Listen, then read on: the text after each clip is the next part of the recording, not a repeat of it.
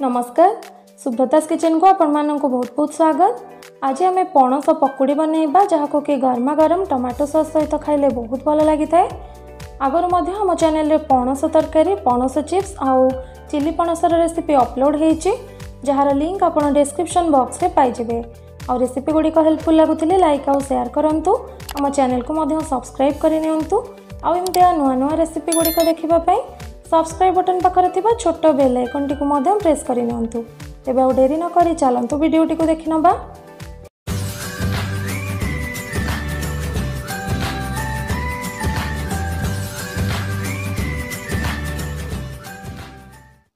First ଆମେ ପଣସକୁ ସିଝେଇ ନେବା। ସେଥିପାଇଁ ଏଠି ମୁଁ ଗୋଟେ ପ୍ରେସର କୁକର ନେଇଯାଇଛି। ଆଉ ଏଠି ଦେଖନ୍ତୁ ପଣସକୁ ଏମିତି ଲମ୍ବା ପତଳା କରି କାଟି ନେଇଛି। ଆଉ ଯେପର୍ଯ୍ୟନ୍ତ ୟୁଜ୍ କରିନାହାନ୍ତି ତାକୁ ପାଣିରେ ପକାଇକି ରଖିବେ ନହେଲେ କଳା ପଡ଼ିଯିବ।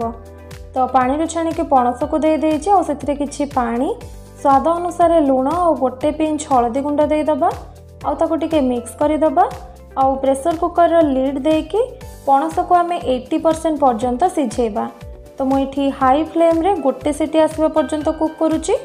ତ ଆପଣଙ୍କୁ ଏଇଟି ପରସେଣ୍ଟ ହିଁ ସିଝେଇବେ ଆଠୁ ଆଉ ବେଶୀ ସିଝେଇବେନି। ତ ଏବେ ଆମେ ପ୍ରେସର କୁକରକୁ ଅଟୋମେଟିକ୍ ଥଣ୍ଡା ହେବା ପାଇଁ ଛାଡ଼ିଦେବା। ଏବେ ଆମେ ଗୋଟେ ବ୍ୟାଟର ବନେଇବା ସେଥିପାଇଁ ଏଠି ମୁଁ ଅଧା କପ୍ ଅରୁଆ ଚାଉଳକୁ ତିନି ଚାରି ଘଣ୍ଟା ହେବ ପାଣିରେ ଭିଜେଇକି ରଖିଥିଲି। ତାପରେ ତାକୁ ମୁଁ ପାଣିରୁ ଛାଣିକି ଗ୍ରାଇଣ୍ଡ କରି ନେଇଛି। ଆ ଜାଗାରେ ଆପଣ ଅଧା କପ୍ ଅରୁଆ ଚାଉଳର ଗୁଣ୍ଡ ମଧ୍ୟ ନେଇପାରନ୍ତି।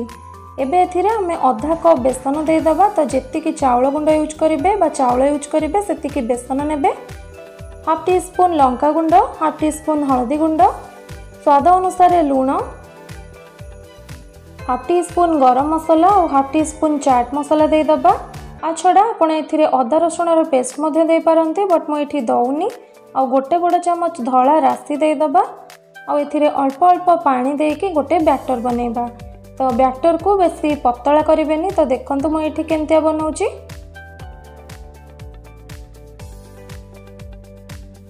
ଏଠି ଆମର ବ୍ୟାଟର ରେଡ଼ି ହେଇଗଲା। ଆଉ ଦେଖିପାରୁଥିବେ ଆପଣ ବ୍ୟାଟରର କନସିଷ୍ଟେନ୍ସି ଏଠି କେମିତିଆ ଅଛି? ତ ଏଇଭଳିଆ ଗୋଟେ ବ୍ୟାଟର ବନେଇ ନେବେ। ଏବେ ଆମେ ଛାଣିବା ପାଇଁ ରିଫାଇନ୍ ତେଲକୁ ଗରମ କରି ନେବା।